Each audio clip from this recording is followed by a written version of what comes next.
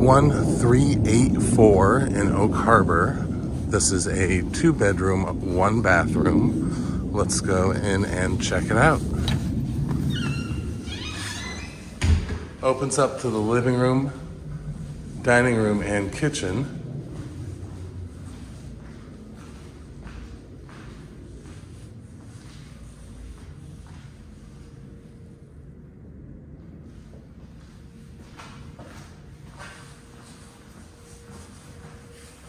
We've got the bathroom right here. Bedroom number one.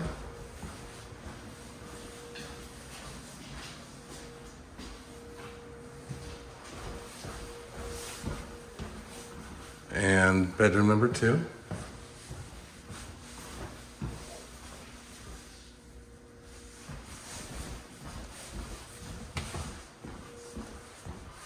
And then through here, we've got the laundry room